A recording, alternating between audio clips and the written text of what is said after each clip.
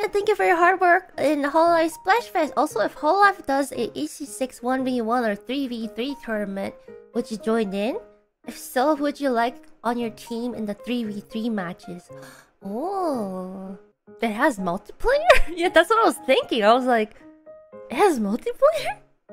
It does. Oh, that sounds interesting. Who would I like? Um, think two people just pop into my head as soon as I thought who I want in my team. It's probably like I don't know if if like Fauna would play it. But she's like such a good all-rounded gamer. I feel like if she were to play it, Fauna would be good. Like Fauna she's she, she she's a gamer. She's yeah. she's very competitive. Also, I feel like who also be a good? I haven't seen Bijou play it. She, I think she was one of the first EN to play it. I haven't watched her play it because I wanted to play the game myself. But if you guys are saying she's good, maybe maybe Bijou.